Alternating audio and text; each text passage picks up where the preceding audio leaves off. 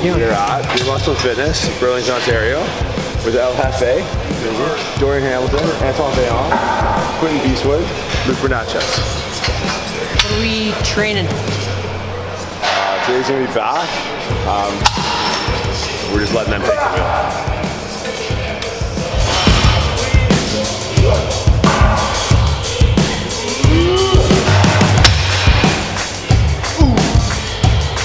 What's up?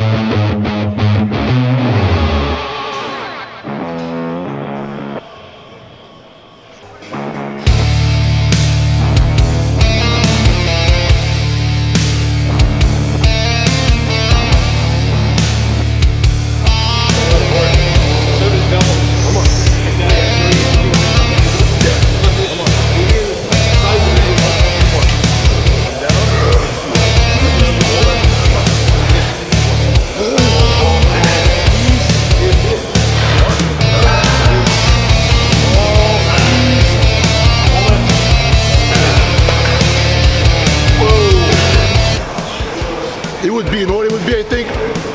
It would be, I call it the AV dead shrugs. So you do a, a deadlift, and then you do three shrugs at the top. Oh, like that. Shit.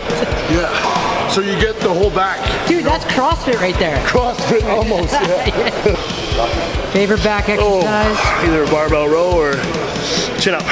Barbell row or chin up? So look, it's barbell row when he's 265, and when he's 220, it's chin up. That's how that works.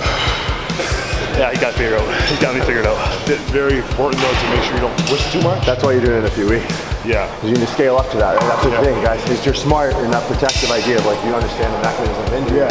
But it's avoiding long term. Because right now I'm trying to stay away from too much even one arm because I worry about you doing one arm and then you have the tendency to want to twist the spine. And that's okay as long as you keep intention on the lat.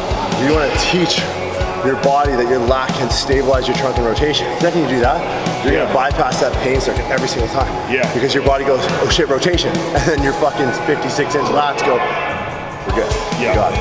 That's the hard part when you go linear on all these machines, Yeah. you don't cross the body. Think of a think of like a like a long jumper, right? So Think of where that is. So much intent of rotation to the spine, it gets stabilized to the lat. Yeah. And like right into that thoracolumbar fascia. Wow. And then you're, you're sweet, man. Like that'll Interesting. Once you get back to those, don't ever leave those. And there's a way that I'll send you a video of how to do them. Yeah. There's a way that you do. 'cause You don't want to. Whereas Quint right now is isolating the action of the lat to extend the shoulder. In the way, in the way he sets up with his feet. Yep. You want to set up to isolate the function of the lat. This is in front. This leg. Uh, so for that arm, because it's gait cycle, right? That's how everything. Like, you ever want to wonder? You ever wonder how a muscle functions? Think of how that muscle works when you walk or breathe. That's its function. Yeah, so it's like just what comes naturally, how you naturally move. How would you naturally pick something up?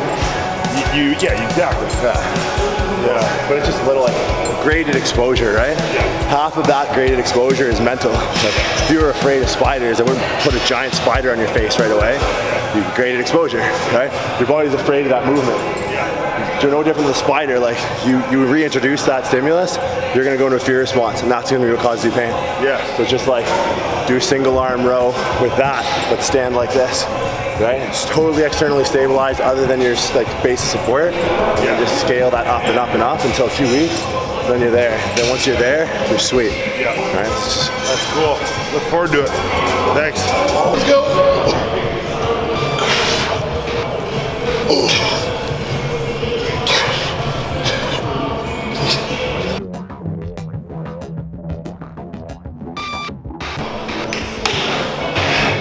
Like you said, when you're doing a double drop on one side and then the other, you're good for cardio for the day. Jeez. Come on, guys. There's a big back over there. Let's go.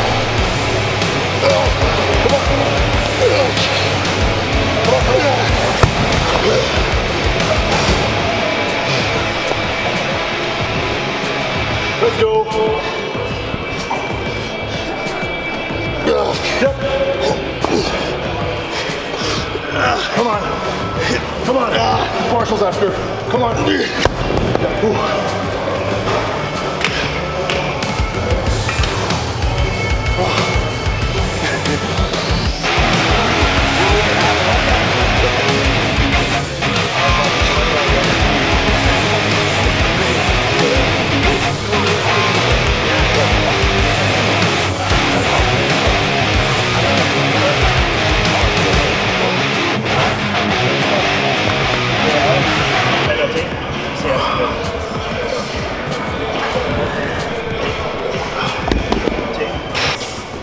Downs. Lat pull downs. There's a, I don't know. There's like this uh, this sweet, sweet like contraction that I get when I do them. Okay, And like okay. it just sets up every workout for perfection.